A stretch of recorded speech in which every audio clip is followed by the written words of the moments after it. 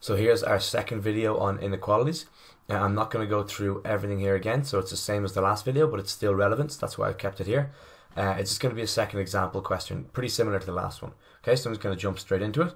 Uh, I'll scroll down a little bit. So here's our question here. They're asking us to solve this, uh, and the quadratic is x squared plus x minus 12 is greater than or equal to 0.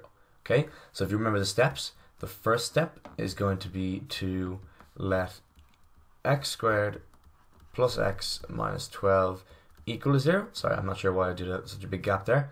Um, and now we're going to have to solve this. So I will go in, so then, sorry, step 2 would be to solve.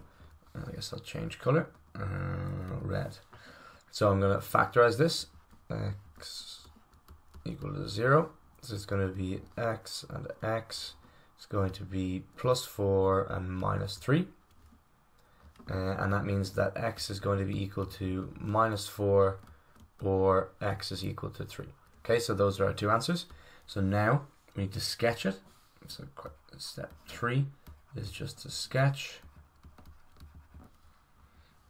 And it's going to be uh, a plus x squared, so that means it's going to be a u, and it's going to hit the x-axis at minus 4 and a 3. So I'll do this in blue. So minus 4 and 3. So again, it's just a rough sketch. It doesn't have to be that accurate at all. It's more just to get your general shape. Um, okay, so sketch, and then the last step I'll do in, I don't know, dark blue. 4 is to check your OG question. Yeah, so OG being original again. So the question is asking us where is this graph x squared plus x minus 12 greater than or equal to 0? Again, greater than or equal to 0 means above the x-axis. So where is this curve above the x-axis? And the answer here is anyway, anywhere here. Yeah, so if you take any of these values here, any of these x values, x is going to be below the x-axis. All of these x values out here, from here onwards, are going to be above the x-axis because the curve goes above the x-axis there. Okay, so then our answer then, I'll go uh, green. You're going to look at these and then look at this um, to get it. So the answer, it's going to be whenever x is less than minus 4. So remember, that's going to be minus 4. That's going to be 3 because they're the roots. So it's whenever x is less than minus 4.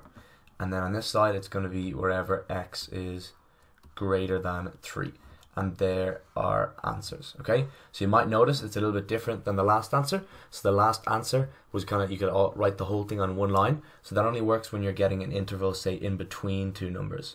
Yeah, but when it's two kind of um, one going this side and one going the other way, then you have to write it as two separate lines. So there is a way to write it as one line, excuse me, there is a way to write it all on one line, but it's not very it's not very good. You shouldn't do it. Basically, it's much makes much more sense to think x is less than minus four and x is greater than three. Uh, write it like this. Basically, is the, definitely the way to do it. So hopefully that made sense. That's another just quick uh, example. So I just wanted to show you the two options where if you got an answer like this, or in the last question, you could write it all on one line, where you're getting an interval in between. Um, but yeah, it's the same method for every single question anyway, so I'm not going to do any more. Uh, hopefully you guys found that informative and we'll see in the next video we're going to look at, give me one second, we're going to look at discriminant problems, okay? So it's going to be more quadratic inequalities, they're going to be a little bit harder. So these are, yeah, they're just going to get harder again. So we'll see you next time.